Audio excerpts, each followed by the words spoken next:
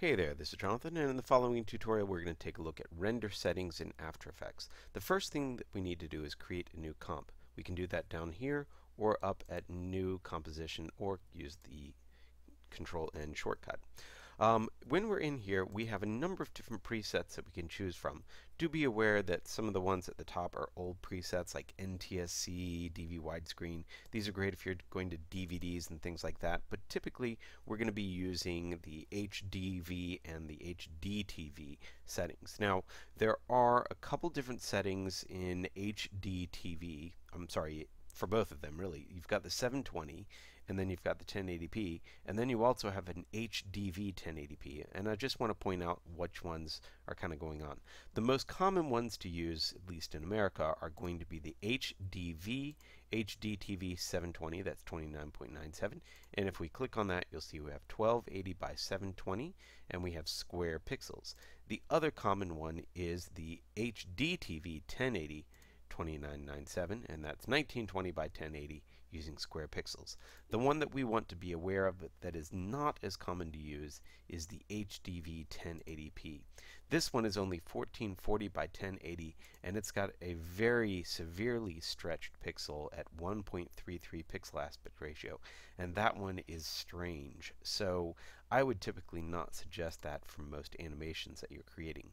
I'm going to use the 720 297 because this is a good format um, for most projects that you're going to put online as well as for high def. And of course, if you want the best quality, then I would go straight up to the 1080p version of this, making sure that you're using square pixels. The next thing I'm going to do is I'm going to change my duration to just 0, um, 500 so that I have just 5 seconds on this particular comp. I'm going to make it pretty short. Now we do have an advanced tablet um, a tab which you can choose either classic or ray trace 3D. If we were to get into 3D stuff then that would be um, something that you wanted to get the best quality out of with ray traced. But we're not going to do that. Now that I have my first comp I'm going to create a very simple project. I'm going to start off by making a new solid which is a comp size. We can do this with control Y and I'm going to make it a color that's very obviously different.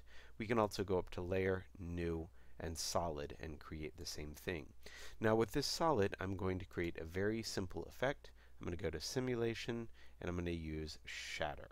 The reason I'm using this is because this one is one that creates a little bit of rendering that After Effects has to do. Now we can make this a little bit faster, or I'm sorry, a little bit more intense by changing it to a rendered workflow. So we'll see that will actually render it. And then also I'm going to add a little bit to it. So under the shape, I'm going to do repetitions of about 50. And I'm going to make my extrusion depth about 0.5 just to make it a little bit bigger. Um, this way I have a little bit more calculations that are having to happen. Now if you have a fast computer this is fine. You can get a pretty quick um, preview, but if yours is slowing down, then I'd go ahead and leave it on the defaults if you're following along with this. Now the only reason I did this is so that I can make a movie and we can also talk about why we might do proxies later on. So the next thing to do is once you've completed your movie, you would go to create or add to render queue. I call this make movie, so control M. The render queue by default goes down over here on the bottom left. I like to take it up to the main window. I, I tend to like it up here, but that's just me. Now, the first thing we have is our render settings. We can see what our current render settings are if we like here, um, but it's best settings by default, and there's a couple different options here. I typically use best settings and then I edit these. And the reason why is because there's one thing in here called proxies, which I typically turn on, and if proxies are being used, I like to go ahead and continue to use them. So I usually change this to use current settings. That will be important later on. The rest of the stuff I pretty much leave alone. You'll see a lot of these like effects, solo switches, color depth, proxies are all current settings, which means whatever we see currently in our animation um, is what we'll be rendering. I find it's a little bit funky when you make different choices here because you might have turned off layers that you don't intend to render and if you say go ahead and turn on everything if you say like all on or all off then that's that can really mess up what your render does. Anyway, I usually set that to OK. And the other thing that I like to do is down here where it says make template, I usually try and set the movie default to the best with proxies, which is what I just did. Now I accidentally made a new setting here, so I'm just going to go ahead and delete that and hit OK. So now anytime we make a new movie, and we can delete this with the delete key, come back down here, do Control M, you'll see now it says best with proxies when we go to render this. The next thing we're going to look at is the output module. This output module by default is set to AVI, DV, NTSC. Boy, that is old school. So I'm going to come down here and I can go to any of these and edit it or I can go down to custom and we can create one right here. So I'm going to go to AVI um, and change this to QuickTime and when I go to format options there's a lot of different codecs. Now I found that with the QuickTime I've got a lot more options for codecs than in the AVI so I, I kind of like to go there. But there's a couple codecs that are really important to know about. One of those codecs is the GoPro Cineform, um, which is one of the newest high quality codecs. Really, really great. But I'm going to be looking at an output codec. So H.264 is really the most common high quality codec out there right now. The next thing we can do is change our quality if we want. Um, this is something that I'm not exactly sure what exact quality gives you the best results, but if you have an idea, go ahead and put it in the comments on YouTube. Um, we could also limit the bit rate if we wanted to um, set that to a certain number. That might be somewhere between 5,000 and 10,000 kilobytes per second, maybe 8,000 kilobytes per second if we're really trying to get a high quality movie. I'm going to go ahead and leave it here at about 75 hope that's pretty good. I'm going to go to my audio, and in my audio, I'm going to typically set that to AAC, Advanced Audio Codec. That's very common with MPEG-4s. Now, the next thing that we have here is our video output that we're changing here, and you'll see we have RGB and we have alpha. RGB is, since we are outputting this as a movie to render as our, our output video, RGB is exactly what we want. Um, last thing we have is audio output and that's set to auto which is good meaning that if we have audio it outputs and if we don't it doesn't which is great. We'll click OK um, and you'll see we've just created this custom preset right here but we haven't made it a template yet. So I'm going to make this a template. And so I'm now ready to give that a name. You'll see it says QuickTime H264 75 is the quality. I've got RGB so I'm going to call this my QuickTime H.264 RGB if we want plus audio. Actually, I don't want to put that plus in there. I think I can just say that. QuickTime H.264 RGB and I might just go ahead and make this um, set to output so we know that's what it's for. I'm going to go ahead and save that and I'm going to come back to this and the reason why is I'm going to uh, come back and I want to set the default of this to let's see movie default. I want to set that to the one that we just made. QuickTime H264 RGB output. Now we did create a new one just now and that's okay and the reason why that we're going to do that is we're actually going to edit this. I'm going to call this QuickTime H264 and this is going to be the RGB scaled. And I'll make it maybe 960 by 540 we're going to do this one as an output that's been edited. So I'm going to do edit. And here in resize I'm going to scale this thing and I can scale it to other common sizes out there there. Or I can just go ahead and do 960 by 540 which means that's kind of the size that you might use for some of the uh, let's see that's uh, I think it's the iPhone or iMovie or something like that. It's one of their size the iTV I guess. Anyway I'm going to click OK and that's going to be my QuickTime H264 RGB the next thing that I'm going to do is go ahead and render one of these things and just take a look at the fact that I could render two of them at the exact same time. And there is one last thing that we want to look at. If we wanted to add a module to this, I could go composition, add module, output module, and now you'll see that by default we get the output here.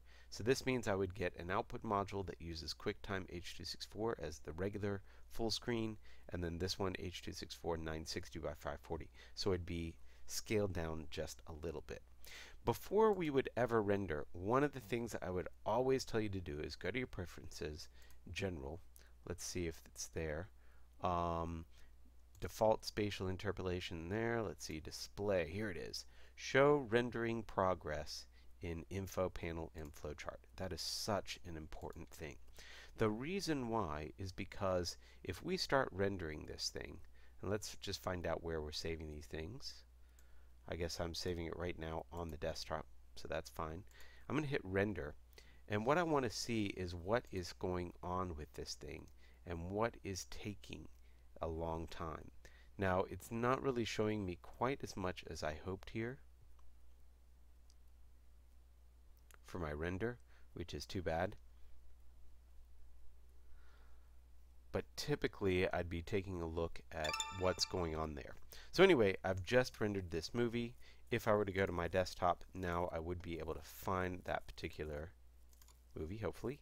Whoa, lots of movies but here's what I just output. Now you'll see that there are some quality issues when I go to that.